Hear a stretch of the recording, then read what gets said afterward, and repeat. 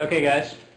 So um, thank you for signing up for the three-day exploits class. Hopefully by the end of this, you'll have everything you need to go and uh, find some vulnerabilities and develop exploits for them. So as all of you know uh, from before, I believe everyone in here, yeah, I recognize all of you took the Exploits 1 class.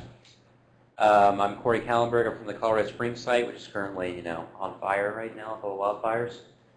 Um, I'm basically like a host security guy. Don't really play in the network field. Um, I learned most of my security skills and exploit development skills through participating in war game like exploit contests. And uh, for me, I mainly do um, trusted computing and rootkit research, and I also do some exploit mitigation research and stuff like that. And uh, also, as you probably figured out from last time, I'm really bad at PowerPoint. I just um, mainly just copy and paste screenshots and slides, but I really won't be using the PowerPoint too much because, as you know, this is a lab tripping course, and we'll mainly be in the Win, WinDbg whole class. So it'll be like WinDbg. So in exploits 1, we talked about exploitation in the Linux environment, and exploits 2 is all in Windows. We will only be in Windows, and it turns out things in Windows are a lot hairier than they are in Linux for a number of reasons. And we're going to sort of show you uh, all the sort of uh, all the hoops you have to jump through in Windows. And by the end of this course, you'll basically have all the tools you need to find and exploit some uh, client-side type vulnerabilities in, um, in Windows applications. I'll mainly be focusing on this sort of paradigm of exploiting client-side applications, like when you try to render a document or something like that, just because it makes it easier for the class and helps me avoid having to go over too much reverse engineering, because uh, reverse engineering is not a requirement for this course. So, um, with that said, by the end of this course, you will have everything you need to find vulnerabilities and develop exploits, so please be smart with what you do with them. Um, we should all be responsible here, don't do anything stupid. So don't go to your manager and say, Corey made me do it. The Fed's come knocking on the door or something. Okay, uh, another important part of this is we're going to be talking about all the um, exploit mitigation technologies deployed in Windows and how you get around all those as well. In uh, Windows, you have to deal with a lot of um, crappy stuff like general stack protection, um, depth, variable reordering, blah, blah, blah. I can't even remember them all. But on day two, we're going to go through uh, what each of those are, and what their weaknesses are, and how we can bypass them with our exploit payloads. Okay, so um, most of you in here took exploits 1, so you should be aware of the course prerequisites. You have to be good at x86. I'm not going to go over any of that. You should um, basically know the basics of stack overflows. I'm not really going to talk about that either. Um, this isn't too important. As long as you've used Windows, that's fine. If you've used WinDbg, that's even better, but uh, don't worry about that one too much. And um, hopefully, we have all used a debugger here, probably GDB. And for this course, we'll be using a WinDbg exclusively. There are other debuggers used for this type of things, like Immunity Debugger, but um, I prefer WinDbg, and it's actually a really good, powerful debugger once you learn how to use it. Okay, so the course outline in the slides is actually um, is, does not reflect exactly the course we're going to take in this class. I decided to change things up a little bit as I was teaching this in the plane because I think you'll like uh, the new direction a little bit better. So for day one, we are going to sort of, the first half of the day will be reviewing what we already know, kind of like stack overflows in uh, Windows, just kind of like redoing what we did in exploits 1 but in Windows, just so you get familiar with WinDbg and um, kind of learn the uh, how Windows works and all that kind of stuff. So uh, the first part of day one will be a little bit slow. Hopefully won't bore you too much. Originally, I was going to go over um, Windows shellcode on the second half of day two, because Windows shellcode is super gnarly, way gnarlier than Linux shellcode. But um, I'm actually not going to talk about that. And the reason is I don't have a lot of good labs for the Windows shellcode thing, since it is so kind of hairy and contrived. But I do have very descriptive slides in here. So if you do any type of malware analysis, I highly recommend you go over those slides. And I even have some lab type material in the um, course documents that you can look at. Because a lot of the uh, techniques you see being used in Windows shellcode will also appear in Windows malware. And I will talk briefly about the uh, differences at a high level once we get there. Okay, so day number two is going to be all about um, Windows exploit mitigations and how those are bypassed. We'll sort of systematically go down the list of what Windows tries to throw in our way as exploit developers and how we get around them. And the day two lab will basically be where we um, develop an exploit that for a vulnerability we um, exploited it the first day, but with all the uh, mitigations turned on. and um, we'll modify our payload to get past past everything. That'll be kind of like an all-day lab because it uh, takes some doing to accomplish that. Okay, uh, day number three is going to be all about fuzzing. So I wrote an application, Corey's do uh, crappy document reader, similar to Corey's crappy allocator, which does something like renders a document with some graphics and some text, and it'll be fuzzing it for vulnerabilities. And um, importantly, that's going to be kind of like an all-day lab where we talk about um, generating crashes and analyzing those crashes to see if we think they're exploitable or not, and I'll talk about being exploitable and plugins like that. And a new thing on here, which I um, introduced in the McLean class, which isn't in your slides, is we're going to uh, be using this unpatched Windows XP virtual machine where we fuzz for um, some old vulnerabilities in Windows XP and then develop exploits for them. So that uh, unpatched virtual machine is completely unpatched. Don't use it for anything real because it'll definitely get owned. Uh, no browser on the internet on it. But we're going to go and try to um, rediscover some of these old vulnerabilities, develop payloads for. So I think uh, you guys will like that because McLean class liked it a lot. Okay, uh, as with Exploits 1, this is a very lab-driven course. I could be up here all day talking to you, and if uh, you just listened to me, you would totally forget it within like a week. But if you actually do it, hopefully it will stick with you longer. Um, one kind of new thing with this class is in Exploits 1, I kind of just had like two marathon days. And a lot of the feedback I got suggested that you guys wanted a little bit slower pace um, and maybe not some marathon days, which is part of why I made this uh, three days. So I could try to end a little bit earlier. So instead of ending at 5.30, maybe try to end at like 3.30 or 4. And uh, that should give some extra time for anyone that's having problems to stick around. I can um, go over the material again that we covered that day, and anyone that felt comfortable with it, they can just leave. So that's the plan, but we'll see how it plays out. The playing class day one ran kind of long, and days two and three were um, in around 3 o'clock. We'll see. So please put as much effort into the labs as you can. That is really how you're going to digest this material by just attending the labs. Okay. So this is the first uh, program that we're going to be exploiting, uh, Basic Vuln.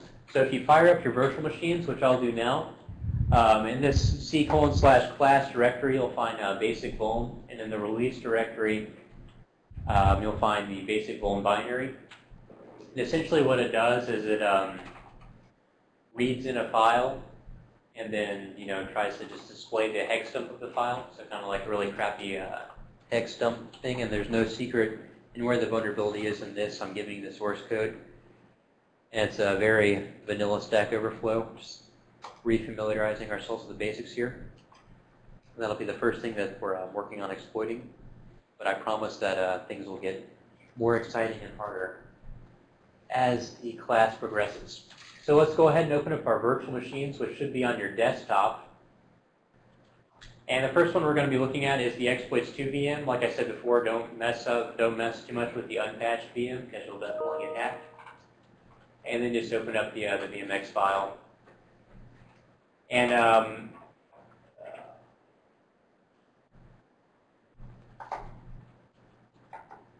Should we be running with dep on? off right now, which is what I was about to show you. So when you reboot the system, you'll present, be presented with a menu when it's coming up, uh, on or dep off, which is like the no execute stack thing that we talked about in exploits one. We're just going to turn that off for now. Um, so kind of cheesy, but I promise uh, by day two we'll be turning that back on and having everything on. So it'll be the uh, real deal. But for now, dep off as we're learning the basics.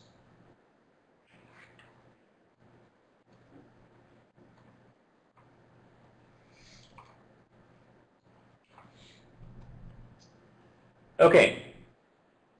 So in the C class, um, or the basic phone directory, you can even like look at the uh, the basic phone solution file. I'm giving the source code for this one and kind of see where the vulnerability is.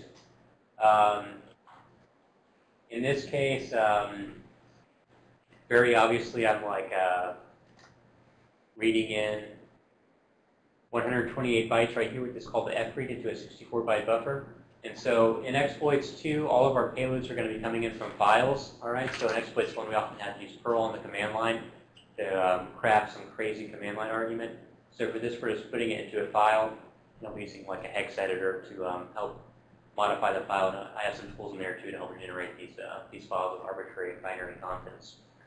So, um, this should uh, not be too interesting for us. By the end of the class, I won't be giving the source code anymore because in Windows we usually don't have access to the source code for the uh, programs we're trying to exploit. And uh, also what I have in here that I want to show you is this ByteWriter program in the C colon slash class directory. And um, you don't have to use this if you want to. It just helps you generate, like I said, these files full of arbitrary binary contents. And so right now the file is set up to um, generate um, some huge amount of OX deadbeef in a file. So if I were to um, to run that,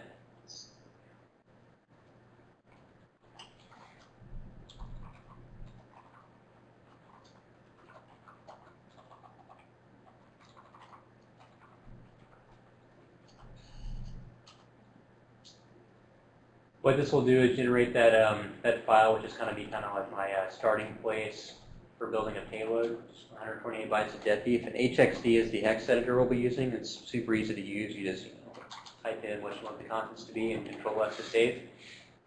So I believe there's um, some command line stuff on here you could use, like through Cygwin, if you wanted to use something like Perl to build your payloads. But if you want to just modify ByteWriter to sort of generate your um, your payload files, you're welcome to do that as well. Hopefully we're all familiar enough with C programming where you guys can do that. But um, you have a few options for generating your payloads in this class. So obviously if I make that file, and you guys should go ahead and um, make that, that file as well, using the ByteWriter program, we'll produce the, uh, the file full of 128 bytes of deadbeef. And then if you come along here to um,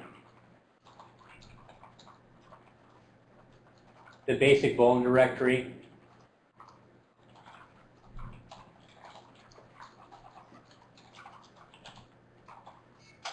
Obviously, we're going to crash, right? We're clobbering the stack and all kinds of bad things are happening.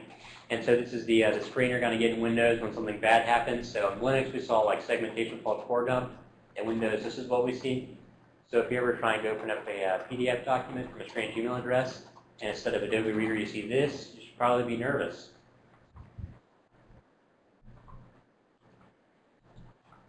Okay. Let me just make sure I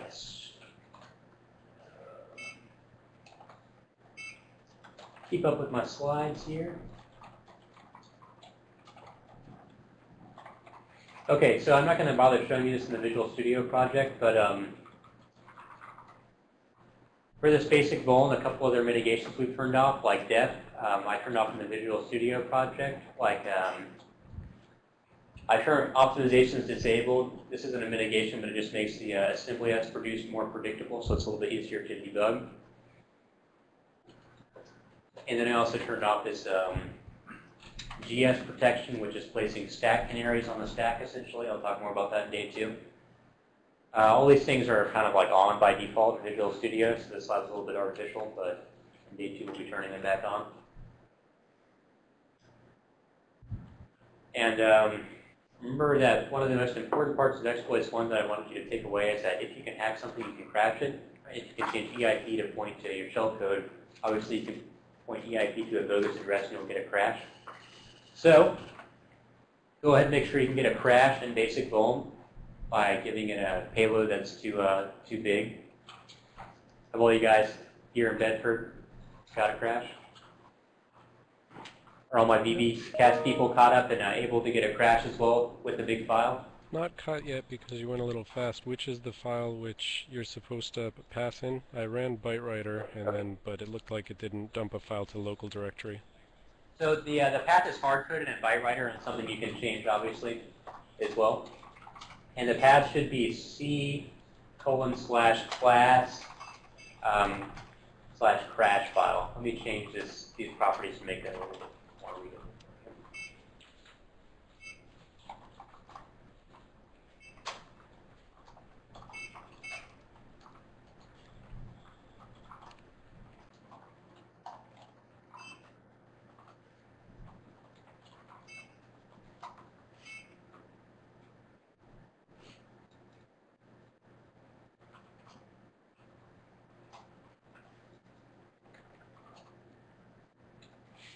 So you're welcome to modify this thing, obviously, any way you want to. You might just want to make a backup copy if you break it.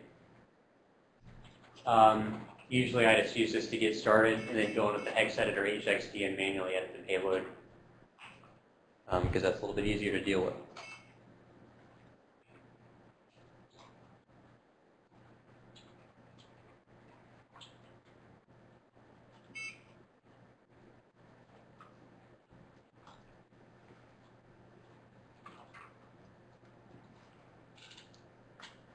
All right, how are my uh, remote guys doing? People getting crashes? Just go into the bug directory. Um, I'm getting can't open file. I can see that the uh, crash file exists and that it's 128 bytes, but when I run basic vuln.exe colon class slash crash file, it says can't open file. Is that a permissions thing? Can you uh, open it up in the hex editor and make sure that I, you know, just contains contents and so forth?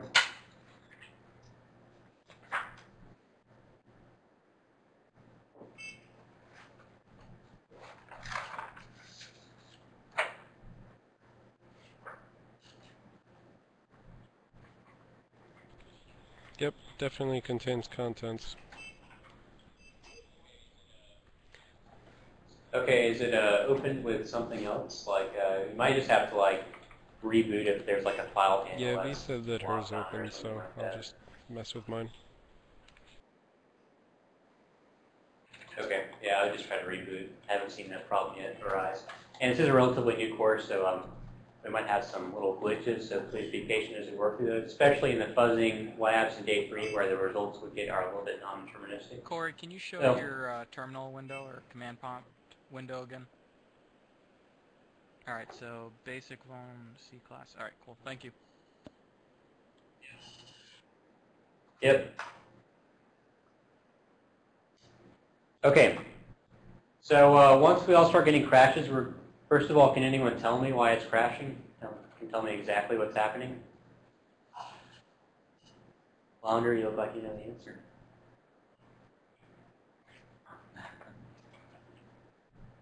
It's buffer overflow, But what exactly is causing the crash? Before, without even looking at the debugger. Uh, Veronica, Oh, you got the answer? Looks like it says the stack is corrupted, so probably return address return address is overwritten or something like that. I didn't open the debugger by the way. Okay. Right. Right. So that is probably the most likely scenario, but that's um, not always the case with Windows Stack Overflows. Oftentimes you'll see that the exception is generated because we just write past the bounds of the stack. So the exception actually occurs before you even get to the bad return address. That's something we'll be abusing on day two. We'll, I'll talk more about uh, later today, actually. But for now, let's um, go ahead and sort of confirm our suspic- suspicions by using the uh, debugger.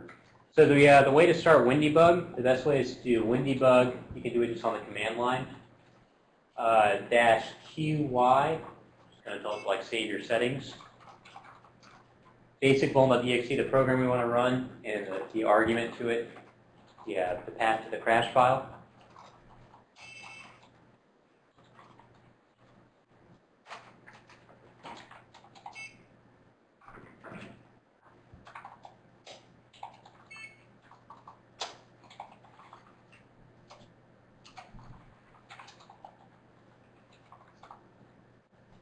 All right, you'll get something like this, and um, like I mentioned before, WinDebug takes some getting used to. It was obviously not designed by the Windows uh, GUI programming group. It was kind of like a tool by engineers for engineers, but it is very powerful and very useful once you get used to it.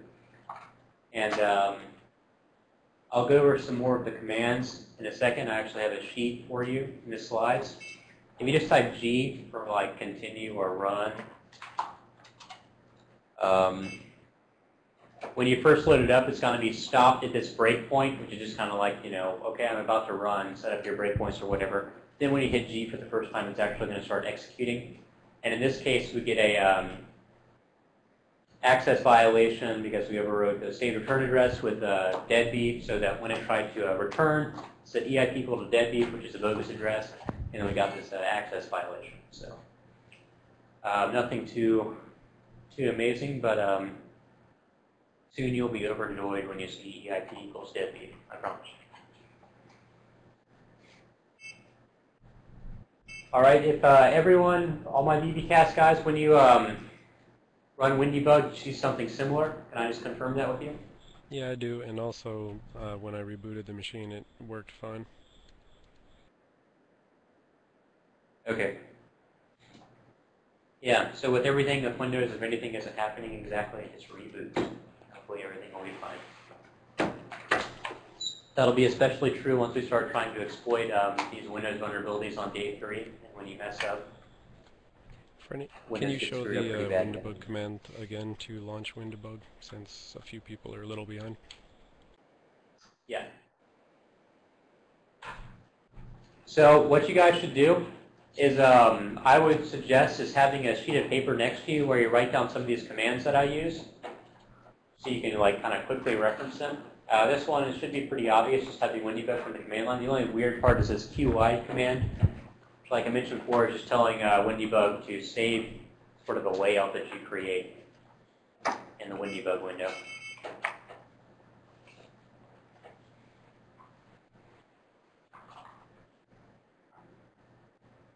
Does anyone here see the uh, the pointing stick? It's like a piece of wood used to point at things. Leave that thing.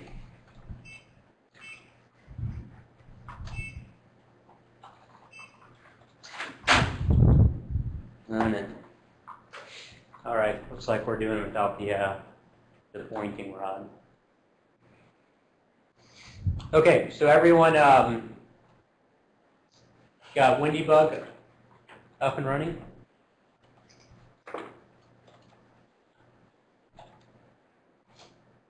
Ah, well, like a caveman. So if you want, you can even fool around with Windybug some. If you've uh, never seen this before, it can do all kinds of fun things. Like you can see more windows, like disassembly is one we'll be using it. The awful part about Windybug is getting it to put stuff where you want it to go. It's kind of like, okay, I've got this uh, disassembly window. Where do I want it to go? And just because I've used it a lot, I'm kind of good at manipulating it, but you'll probably end up with something like this. Like, oh, I didn't want that. And uh, it'll take some practice to try to like, you know, get it to put stuff where you want. I know that's frustrating, but you'll get better at it. Has everyone in here used Windybug before, out of curiosity? You guys? Okay, well you're in for a treat. All right, so uh, nothing, nothing amazing there. EIP equals deadbeef. Um, what I want you guys to do as your first lab is um, make the prize function run. Okay, so in uh, exploits one, we over, we exploited that basic login program by changing the return address to point at like the uh, successful login function. In this case, just to uh, get comfortable with debugging issues and building payloads, I want you to modify your payload so that the um, the prize function runs. And in this case, you're not even having to like go and discover what the address of prize is. I'm literally just printing it out on the um, in the output with a printf statement. So for the first lab, let's try to get prize to run by changing the, um, the return address to point at prize. And one thing about this class, which I've failed to mention so far, is that let's assume we're in exploits one world and we're trying to get prize to run. Can anyone see any problems that would occur? Yeah. all the zeros in there. Yeah, so in Windows, all these addresses, like stack addresses, have zeros in them. Now, if you remember from exploits 1, um, zeros were bad because if you had any zeros in your payload, if we're overflowing a function like string copy or uh, anything that copies an ASCII string around, whenever it sees that 00 value, it's going to assume this is the end of my string, um, so I'm not going to copy anything beyond this. So basically, you would get to, you know, like here, little endian, these things are in reverse and say, all right, that's into my payload, and the rest of it would not get copied. However, in this class, all bytes are fair game. Everything in here is binary protocol, so you can use any bytes you want in your payload at all. This actually isn't too um, not realistic. Most of the vulnerabilities I see are in binary uh, binary protocols, and any type of binary data is going to be using functions like memcopy or whatever that is going, not going to discriminate against any of these bytes. So a lot of the overflows vulnerabilities you see are in binary data, so you could use any of these bytes. But if we were having an overflow in um, string copy or something like that, you would have to carefully craft your payload so that you avoided all these um, null bytes and such. And I'll talk a little bit about how we would get around this null byte issue if it was a string copy overflow or something like that. But the most important thing now is for the purposes of this class, you can use any bytes in your payload. Any bytes are fair game. All right, guys. So try to uh, craft your payload so that um, the price function runs. So the cheap way to do this would just be to like, you know, spam your whole payload file with the address of prize. But if you want to be more precise about it, try to locate the exact offset in your payload file where that return address is getting overwritten and just replace that one instance with the address of the price function.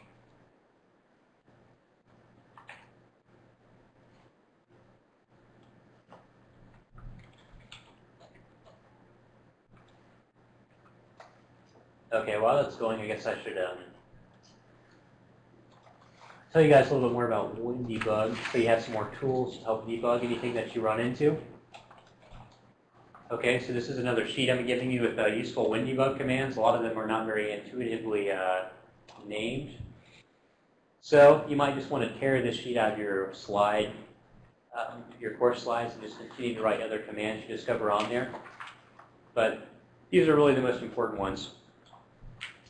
So you can um, set a breakpoint with the BP command just by typing like BP, the symbol name, or the address. You can just give it an address. DD lets you look at arbitrary data. K displays stack frame information. You have these handy cursors in the beginning for like, you know, run to where the cursor is, or step out of functions, kind of ubiquitous uh, debugging technology.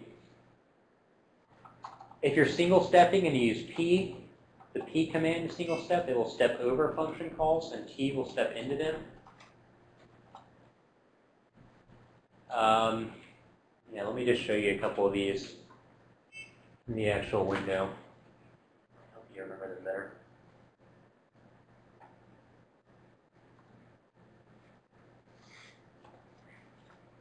So another really useful WinDebug command that we'll be using a lot is this sort of evaluation mode, which we start with the question mark. And um, this lets you just sort of like uh, do arbitrary calculations in the command line. And it'll even like tell you, you know, what the value of registers are. So you can do like ESP, what is ESP plus 100? And it will tell you that. Or it's pretty smart about figuring out what you're trying to do. And I'll be using this to sort of calculate offsets and that sort of thing in the class.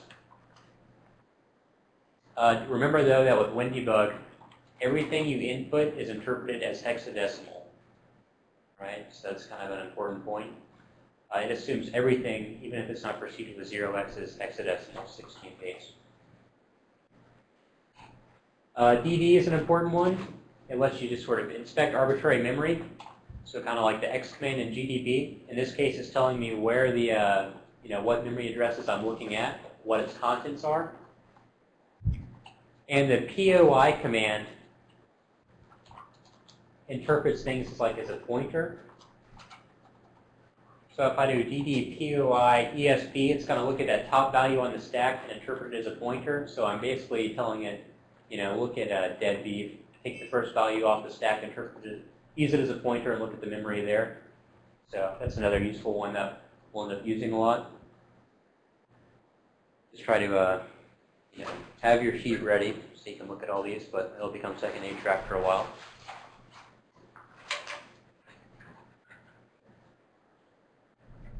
Um, for my remote students, can you read that WinDebug output decently, or should I try to change the font so it's more uh, legible for you? I can read it, but if you could make it a little bit bigger, it would be better.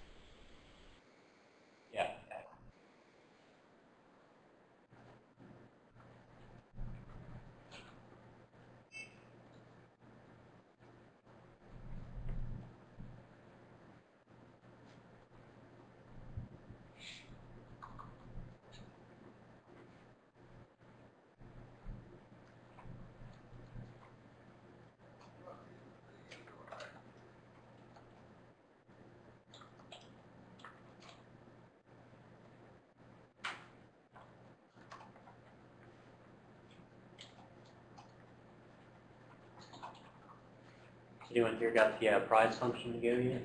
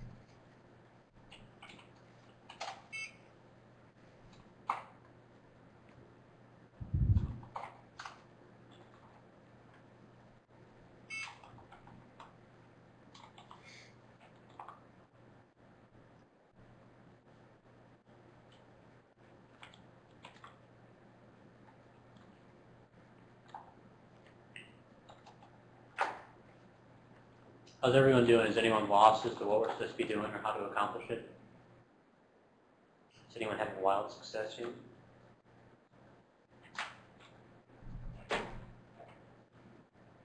What was the saying that we're supposed to say once we figure out?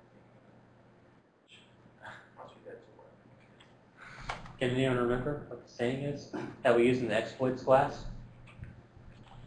Papa Legba, hear my call.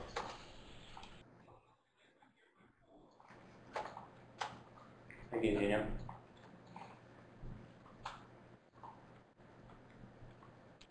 But you have to say it with gusto this time so I can like edit that clip out and use it when I make like a, a medley of of OST video interesting bits.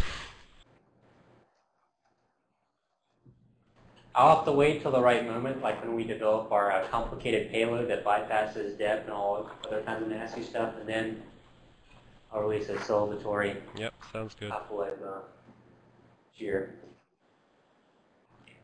Can only be reserved the finest moments though, like when you find that remote pre-op zero day or develop the sickest exploit ever. Otherwise, you're blaspheming Apple Okay, so as many of you will see, like Sam saw, when you get prize to run, it's going to run like multiple times. So while you're waiting on other people, you should try to investigate why that is with WinDbug and try to just get it to print once.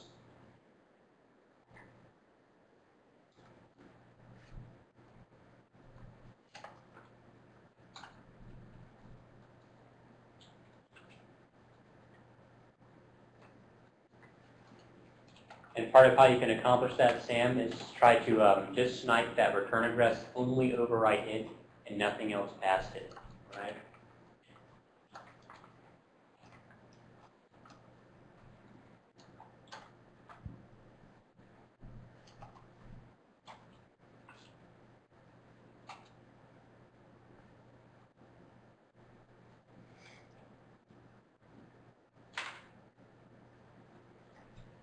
Right, so in, um, in Windows exploits, we're talking about the real world here. We want our exploits to be as precise, as reliable as possible.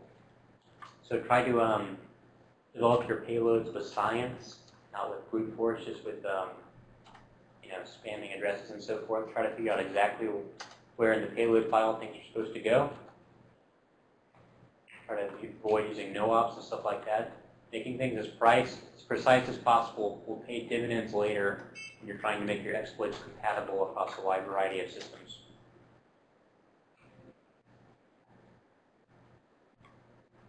All right, so Zeno got it to go with um, just one. How are people doing here? Prize, success? Yes. Papa Light Boss in the house? Okay. Dan, how's it going over there? So I'll start working through um, how I would do this. I'll just show you how you do it with the like the byte writer program, just so you guys can get comfortable with how that um, works. Okay, so um, first thing to know, what is the address of um, prize? So, got it? Well, price is uh, zero zero four zero. Just write it here so I don't forget it. So zero zero four zero. One zero zero zero. Okay. And another important thing to remember, guys, is that you want to keep in mind what these addresses look like and what they represent, because it'll help you a lot when you're debugging things and trying to figure out what's going on. Like when I see um, the address 004 beginning with a 4, I know that's kind of like the uh, text segment of my main process that I'm trying to attack, because that's the way addresses are laid out in Windows. And whenever I see 12F something something something or 13F something something something, and it's a stack address, that just helps me when I'm looking at kind of like raw output, like, okay, that's a function pointer, that's a pointer to the text segment, that's a stack address, that's a heap address. So being familiar with these will help you out a lot in the long run.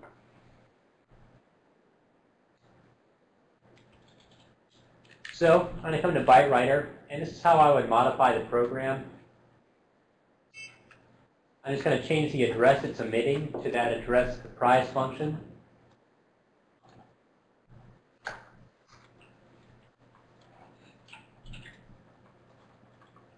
sort of the, uh, the spam method that I'll show you guys here.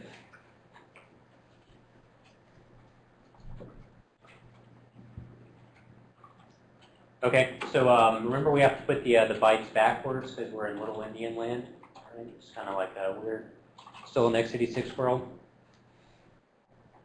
And then I'll just run this. And because the HXD uh, automatically updated my file and it contained this um, address, 128 bytes worth of it.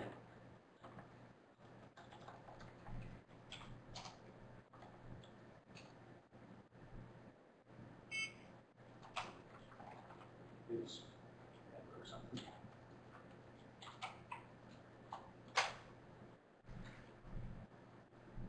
Oopsie.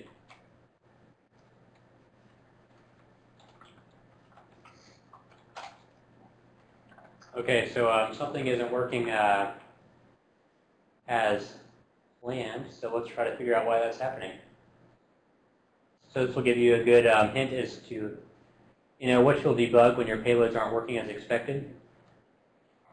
Out of curiosity, this is what you guys' payload look like, right? I'm not missing anything obvious.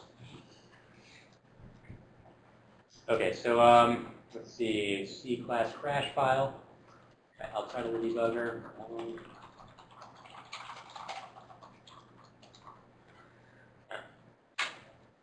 oh, it's just printing it and then crashing it. I wasn't seeing it.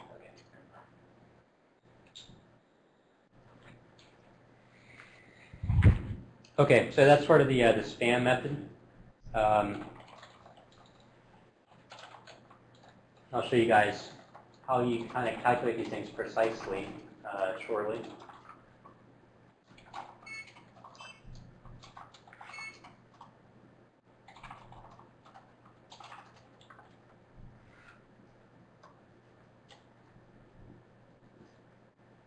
Okay. So Zeno, you used the sort of sniper method. Um, you were able to calculate exactly where in the um, the payload file the return address was being overwritten. And can you tell me how many bytes you had to write before you were overwriting that saved return address? 64 bytes?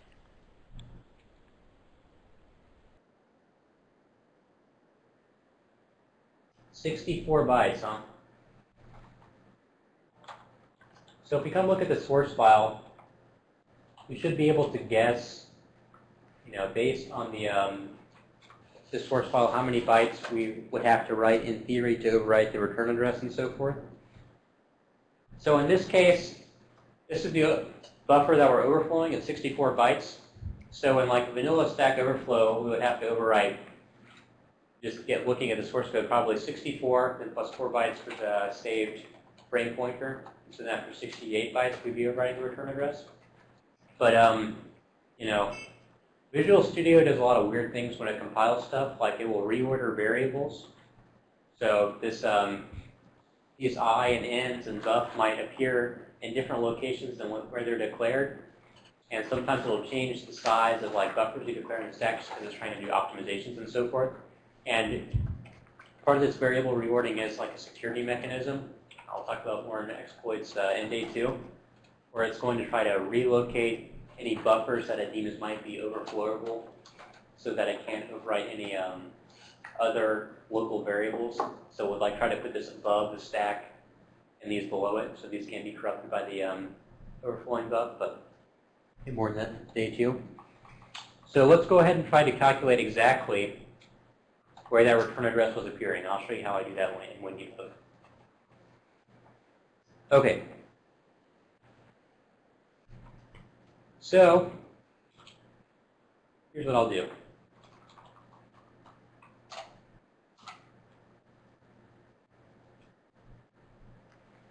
It's always a good thing to do when you're developing a vulnerability. You want to set a, um, or developing an exploit, set a breakpoint right before you corrupt the process. So in this case, the call to F read is the call that's going to be corrupting the process and sort of look at the state of the program. And then right afterwards, the corruption occurs, the overflow or whatever, look at the state of the process again, just so you can see that everything is as you expect it to be, because oftentimes something wasn't um, quite right. So um, as soon as giving us the loss of the heat bound, and mine should be the same, but we'll see. The stack, the stack is kind of a dynamic window that changes a lot. So hard coding stack addresses in your payload is often kind of a no-no, but we'll talk more about that later. Okay, so I want to set a breakpoint right before the uh, this f read comes in and corrupts my stack. So I'm going to set my cursor here and do a run to cursor.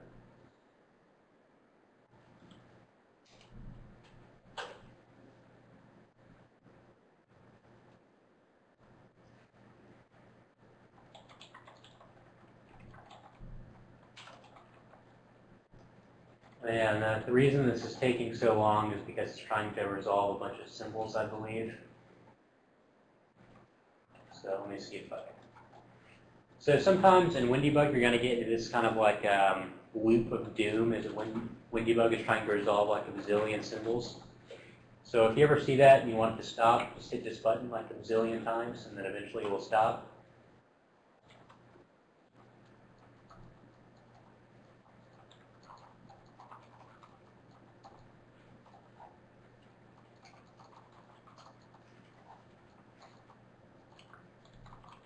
Okay, so finally it did stop here for me actually when it resolved the symbol. So at this point I've broken on this part of the program.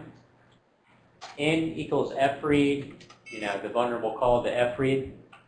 But this uh, level of granularity isn't good enough because for every line of C programming there's a lot of like, you know, assembly opcodes happening in the background. And um, we want to stop actually right before the actual call, not just on the line. So we can switch to disassembly mode. You don't have the screen up. If you go to View and Disassembly, it, it will appear for you.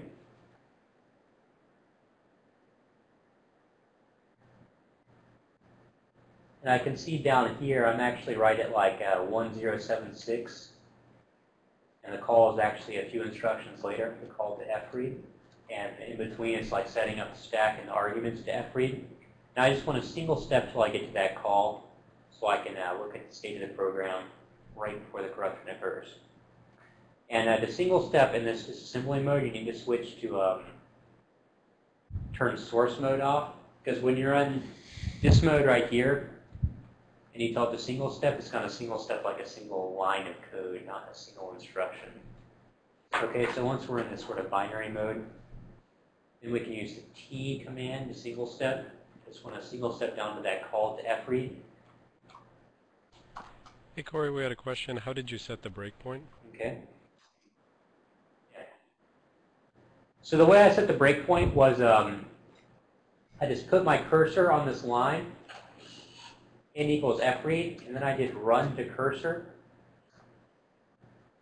And you might have to do that twice. Like sometimes it will hit like a Windows your debugging breakpoint before you actually get to the breakpoint you wanted. But when this is highlighted with blue, that means you're actually on broken in this line of code.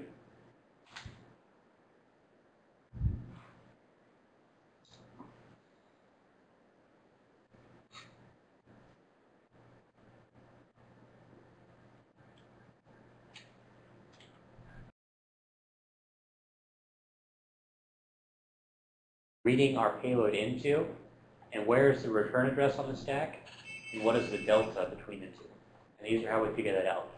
So if we do DDESP, I can even do DDESP L4, and 4 means I want 4. So describe D word starting at ESP and give me four of them. You have to use L4 for whatever reason. L is the, uh, the size operator there. I think it's actually single step. The T command, that work? How is it? Huh? It, it did it go for you? When I use the T, it's usually jumping. Yeah, it's because you have to uh, put this thing right here. Um, Yeah. So you can do a dot restart to rerun the program and kind of re, re get to that point because you probably uh, stepped past where we want to be. So describe D word starting at ESP, give me four of them. And these are the, this tells me these are the arguments that were passed to the, um, the vulnerable read file. So who can tell me, looking at this output, what the address of the buffer is that we're um, overflowing?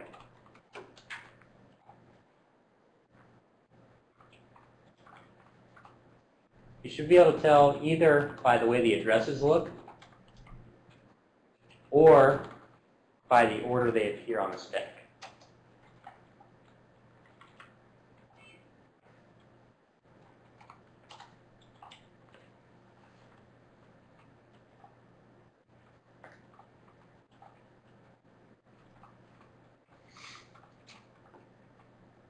Dave, can I answer your question? The address of the buffer that we're overflowing. Yeah, I think it's 0012 FF20. yeah. And how did you derive that? Um, well, I immediately threw out the 0180. Yeah. Um, just those, those are the focus addresses. And so uh, I decided to look at things that would most likely be on the heap itself. And, um, who did I choose to say? So you could just recognize these addresses. Like I know that 12FF or 13FF is a stack address. And I know the buffer I'm reading into is like a stack buffer, so that's one way to do it. Another way is by looking at the order these appear on the stack. So what, right before the call, the top thing on the stack should be the, uh, the first argument to the function. And the first argument to fread is the buffer you want to read into. And you would obviously only know that if you knew what the, um, the prototype was for fread, but you will eventually. So 12FF20 is the address of our buffer. Now we want to figure out where on the stack our return address is. What register points in the general vicinity of our return address?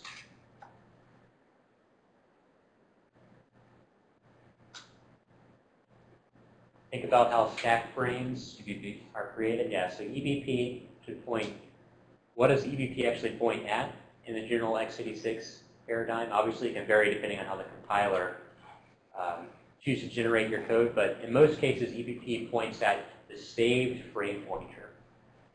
And then right after that is the return address. Okay. So in this case, you know, sort of, I turned off all kinds of optimization and stack canary, so it should be pretty um, vanilla stack frame. And pointing at EBP is the, uh, the save frame pointer. Then right after that is the save return address.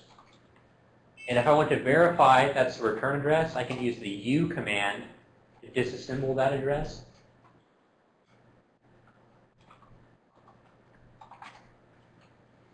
And I can see it points back into the main function. It's like a return address in the main. And um, this tells me that it's a return address because right after a call, it's doing uh, add ESP to like clean up stuff that was pushed onto the stack, clean up the stack after the call.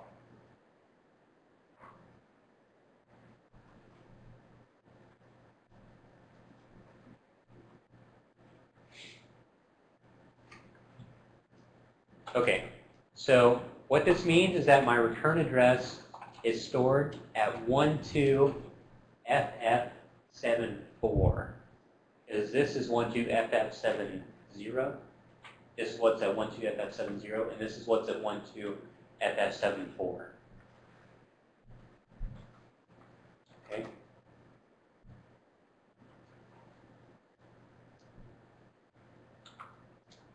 So, I want to calculate the delta in between my saved return address and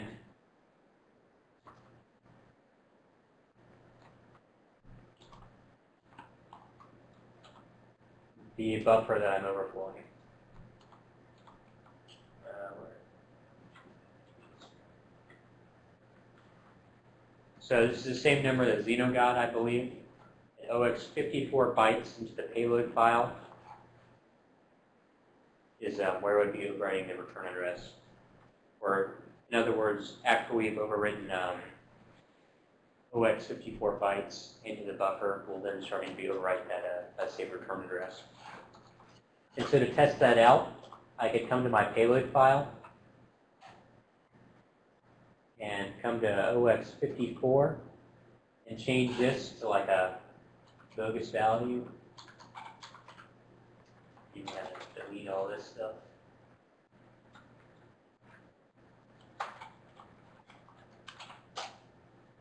And then if I were to run this again, I should see EIP equals AAAA crash, obviously, that's not a valid address. So if I was to do restart, EIP equals AAAA.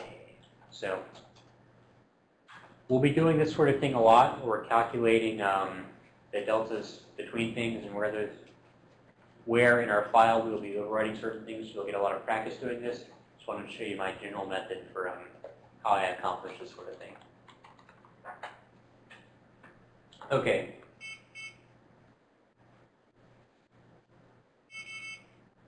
So one thing that Xeno did, which a lot of exploit developers do, is they'll hack in kind of like a U, when they know they're overriding a function pointer with their, their data, but they're not really sure which part of their data is overriding the function pointer, they'll change their payload to like a unique pattern. So you know, A1, A2, A3, A4, B1, B2, B3, et cetera, et cetera. And then they know when the program crashes if EIP equals, you know, A4, B1, B2, B3, we'll know exactly where in the payload they're overriding that function pointer. However, we want to be scientific in this class, so we're not going to, I'm going to discourage that type of behavior because we want to know how to calculate these things precisely. In the real world, if you're trying to develop an exploit as quickly as possible for whatever reason, you would just develop this unique pattern thing. And Metasploit actually has a module that will generate a random pattern for you like this, and it'll help you figure out, you know, kind of like programmatically do this and figure out where things are in your payload. But um, we want to do it the scientific way with WinDebug and with Mac. So, did everyone get prize to run? Yep, good. All my VBcast people got prize to run? Were there any questions about how I calculated that offset precisely? Is anyone wildly confused at what I did there? Obviously, some of the WinDebug commands um, were a bit strange, but you'll be used to them. We'll, we'll be doing that a lot in this class.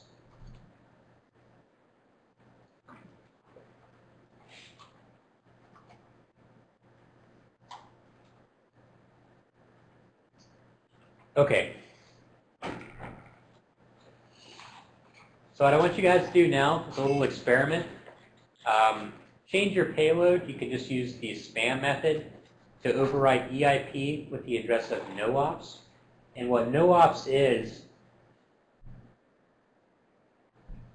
is um, just a buffer I created, you know, like a static buffer with these bytes, OX909090, which is the opcode for, um, you know, do nothing. But does anyone remember what it actually does from Xeno's x86 class? Xeno can't answer? So, yeah, Isn't it moved from one register to the same register? exchange, yeah, exchange EAX, EAX, I believe. But um, OX90 is the opcode for uh, do nothing. So I want you to try to point EIP at these OX90s, and Sam got it right apparently. And um, see if you can get that to work. And with this, you won't know that it's actually uh, working, obviously, since it's not printing any output. So you can actually set a breakpoint on the, uh, the no ops.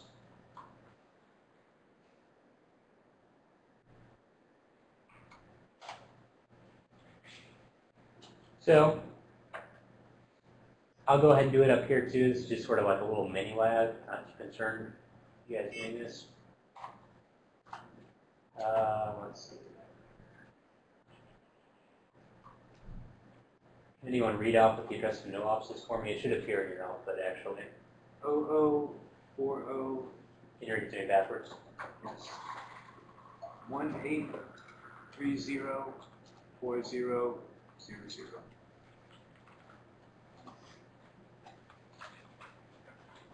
Okay.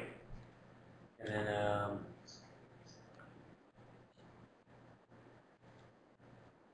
check HXT to make sure that I know that.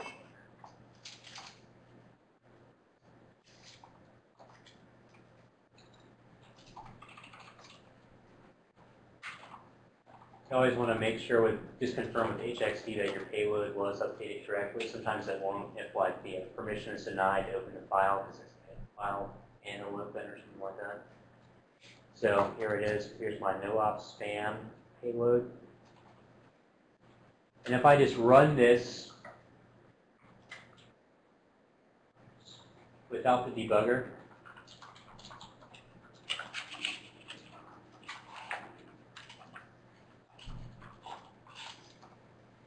yeah, it's not going to be clear that it worked. We're just going to get this crash.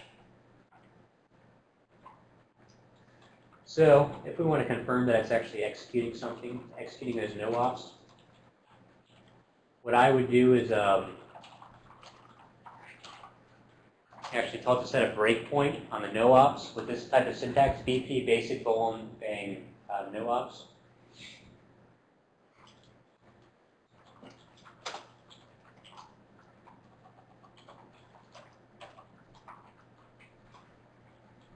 Four Oaks 90s there.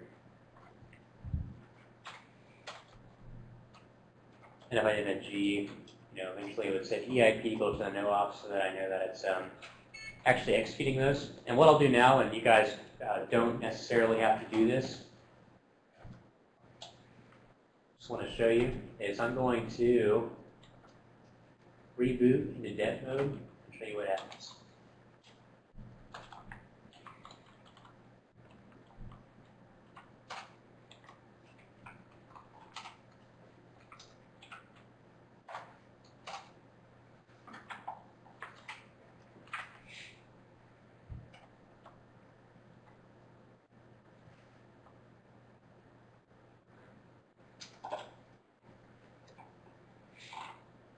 So I know, guys, that this is going a little bit slow at this point. This is all kind of like old hat for most of you, but just bear with me as we get comfortable with Windybug, and I promise we'll pick up the pace soon and learn all kinds of new exciting things. In general, day one will be a little bit slow, and day two and day three will get a lot faster. Corey, I would say the uh, the pace is decent for the online because we have to flop back and forth between the windows and makes it take a little bit longer. Okay, good to know. So every once in a while, I want to just sort of take a measurement of the class barometer and see how everyone's morale is doing with this kind of stuff. I realize that at times it can be very demoralizing to be staring at a windy bug and like, oh, how the hell is this working? Or is going too slow or too fast? So at this point, is everyone doing okay with the pace? Right? Is anyone really bored at this point? Just keep in mind the end result. This journey, we have to take many arduous steps, but by the end, we'll be able to develop cool exploits so that when people browse to our websites, all kinds of crazy calculators will pop up on their computer. It's the end result that we want to get to.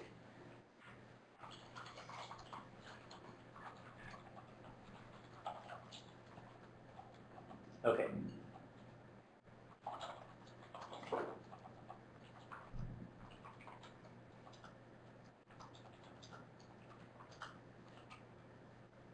So I'm going to just repeat the same thing that I just did.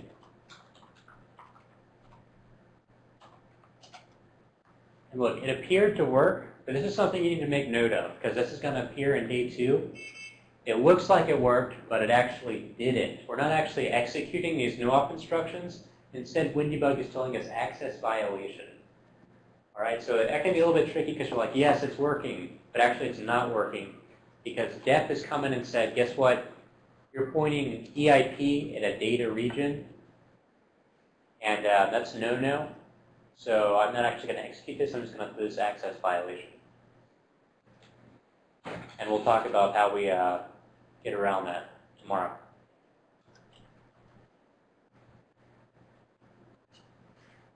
Um, anyone that just followed that lab with me, just make sure you reboot back with that turned uh, off.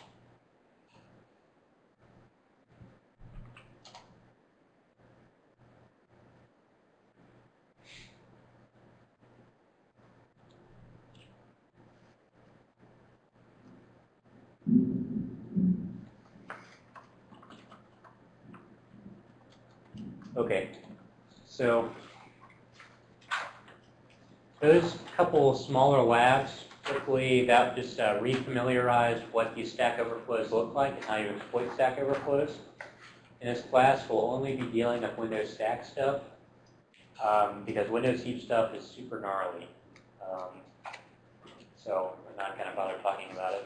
It takes a really long time to develop a reliable Windows Heap exploit. Uh, but contrary to popular belief, some people would tell you that um, Stack Overflows don't exist anymore, or you know, they're not around, or exploit mitigations render them not exploitable. That's totally false.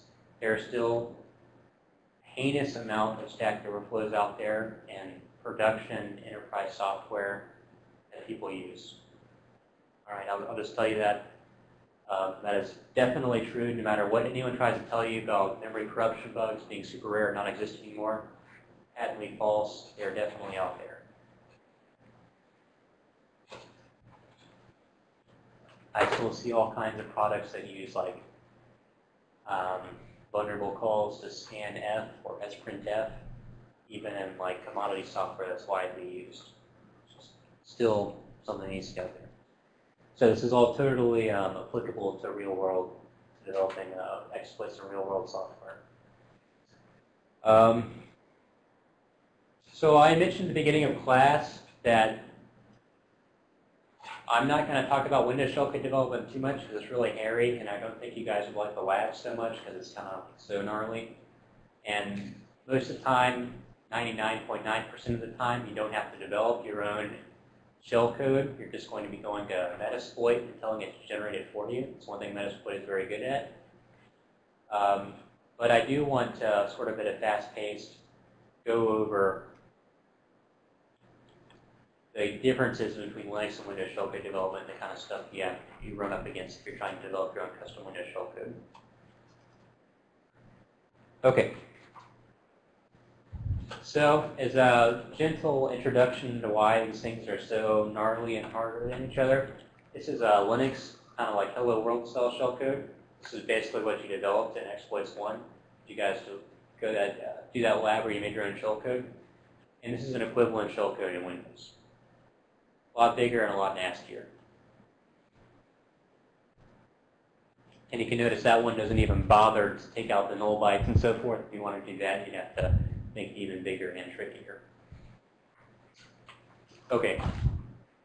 So in Linux, the reason why these things are so different, why Linux shellcode is so much easier than Windows shellcode, is because Linux has this handy interrupt OX80 or I guess different x64 system call interface where you, you know you set some registers, some values, and you tell the assembly to interrupt OX80, and the operating system does a, a system call for you. Um, Windows does have a system call interface, but it is not used by shellcode for a number of reasons. One is that in Linux, the, the system call interface is like set in stone. You know that, you know, EAX equals 1, I think it is, is the exit system call. 2 is that, 3 is this. this these things never change. They are hard-coded. This is a system call interface. It's like a specification that is not changing. In Windows, you're not really supposed to use these things directly. And the interface for them, how you call them, is constantly changing between service packs and so forth. Like um, setting how you would call one system call is going to vary a lot between service pack levels. So trying to make reliable shellcode using this interface is it's not going to work out since it's such a dynamic, um, documented, unused interface. Also, in Linux, we have some really powerful system calls, like we can do socket and network code operations with socket calls. In Windows, we cannot. There is no socket interface um, reachable via the Windows system call interface. So in Windows, we're usually interested in sort of remote shellcode if we're talking about a real attack or offensive scenario. If we just pop up command.exe or a calculator on someone's computer, you know, that's all great, but it's not actually accomplishing our objectives as an attacker. What we want your computer to actually do is instead of rendering that PDF document, we want your computer to go out, connect to a command and control channel or go and download something. So generally, we're always talking about some type of network interaction, exfiltrating data or something like that. And this network code that you need is not reachable by the Windows System Call interface. You have to use WinSock and the WinSock DLL.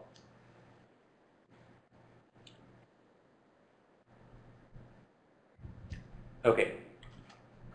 So the general way you develop um, shellcode in Windows is since you can't use a system call interface, you traverse the address, the process address space. I'm going to go really high, high level here and wave my hands around a lot so I don't have to go into it too much. Is we traverse the victim process address space looking for key DLLs located in the victim process address space, like kernel32.dll, that contain these important system call like functions that we want to use. Um, the first thing you generally do is you locate, locate it at, um, in Windows everything has what's called like the, the PEB and the tab, the process execution block and the thread execution block. And from there, there's like a linked list that points to all the DLLs loaded by the process by the pro in the process address space, and one of those DLLs is invariable kernel, kernel 32.dll, which every process has. So we um, start at the tab, which is pointed at by the FS register, just the convention in Windows of the FS segmentation register, pointing to the tab. Traverse this linked list, it gets us to kernel 32.dll. A lot of the structures that we're having to traverse are undocumented, so you got to figure all that out for yourself. Eventually, we discover what the base address is of kernel32.dll by traversing that linked list. Then we parse kernel32.dll's export address table to discover the locations of two key functions, load library and get proc address. And load library lets us load arbitrary DLLs into a process address space. So we can tell us that if we just have like a calculator program that doesn't use Windows sockets, we can tell it to load winsock.dll also, we'll have a Windows socket programming library in there. And also get proc address, which tells us the address of where functions are located in the DLL. And so at that point, we've located the address of kernel of um, load library and get proc address. We use them to load in more DLLs to accomplish our shellcode's objective, like um, Windows socket programming DLLs. We use get proc address to figure out the address of those functions in that DLL that we want to call and then eventually we um, we call. So we have to, just to reiterate, go to the tab, thread execution block, which is located at the FS register, parse the crazy linked list, find the address of kernel32.dll. Um, once we found the address of kernel32.dll, we have to parse its export address table, locate the address of load library and get proc address, use those functions to load in DLLs that we are using to accomplish our shellcode's objective, and then eventually call those functions to do whatever we want. So doing all that is um, pretty gnarly, but I talk about it in great detail in these slides. So like I said, if you do um, any sort of malware analysis, I highly recommend you look at these because it can be a little bit hard to find um, thorough documentation on these methods. And I highly So, recommend you take the. Life of Binaries class to learn more about the PE headers. Right, right. Um, this kind of material, if you take in life of binaries, it will make a lot more, a lot more sense because we're talking about how the Windows loader is working and what all these structures actually look like. But um, you know, if you're interested in this, I have some mini labs in these slides that I describe them in great detail. And there's also some source code on there um, for the labs, class directory. So please look at that on your own time, but I'm not going to cover it because I don't really have good labs um, for this stuff because it's so kind of hairy. And I want to uh, stick to a lab-driven course because I would probably talk, end up talking about Windows shell code for three hours and then you guys would just be put to sleep and wouldn't remember.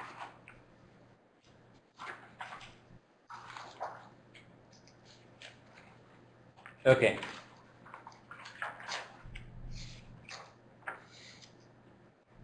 Um, for this class, we're only going to be using this shellcode, which I generated with Metasploit. Unfortunately, I, I avoided putting Metasploit on these virtual machines, so you can't generate your own custom shellcode, because our company freaks out about Metasploit for whatever reason, because they think that uh, Metasploit is going to become self-aware and start attacking people on our network. So, what I did was I just used Metasploit to generate a uh, calc.exe spawning shellcode, and I put this all and your virtual machines in multiple forms. Um, so if you go to the class directory, in ByteWriter, I have the um, like C array for the shellcode already declared, so you can use it here if you're using a byte writer. And I also have it just as a raw binary file in the class directory and calc shellcode.bin. And so what I usually end up doing is I just, once I have my payload in place, and I'm executing some trivial like uh, CC software breakpoint shellcode, I just copy and paste with HXD, literally copy and paste the shellcode into my payload. Into my payload. But you have the shellcode exists in a variety of ways, and you can use it to get into your payload however you want. I tried to give you some options. One thing everyone hated about exploits one was having to manually type out, uh, you know, Perl string the shellcode they generated. So here it is, guys. I heard your complaints. It's just right here. You can just copy and paste away until your heart's content.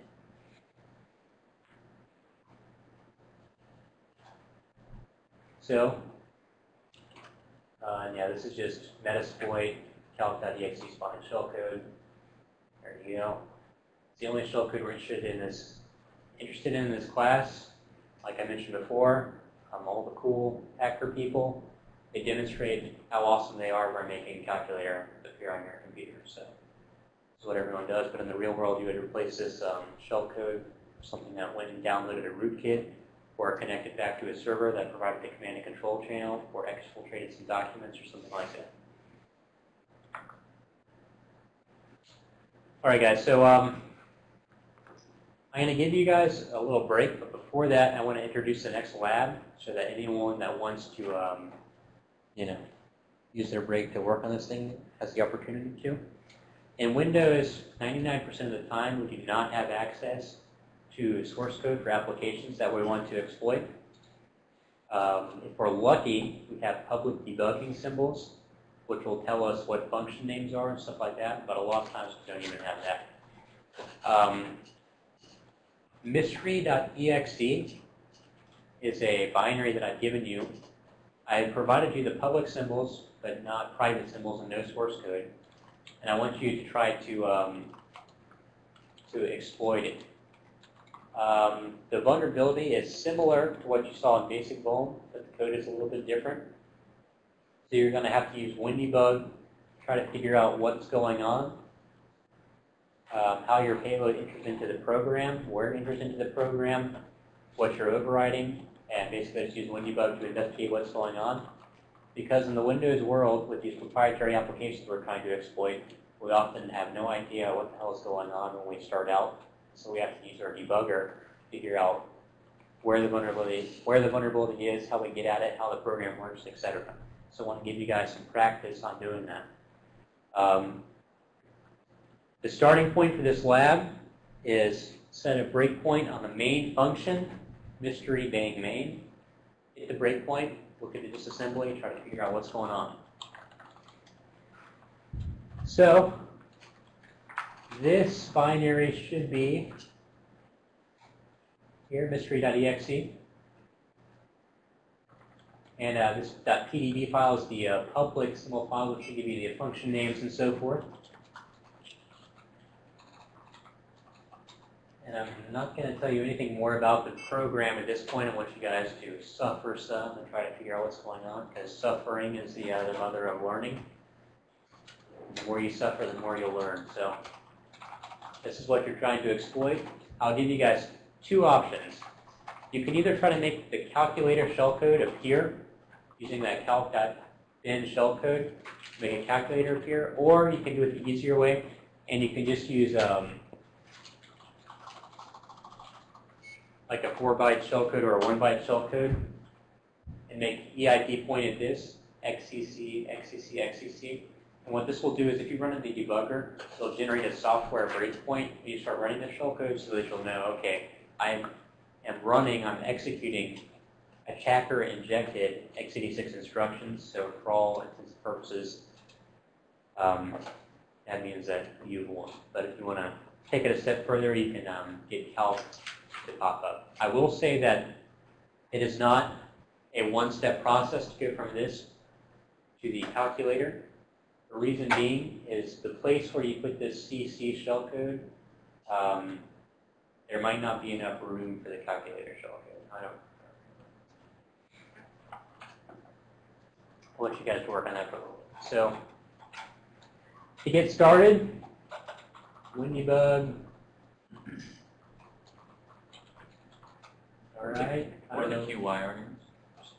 QI just means like save my um, workspace information. Otherwise, you would have to set these windows up kind of like each time you ran. And it like won't remember how you position your windows, and it will just start with the default assembly window. So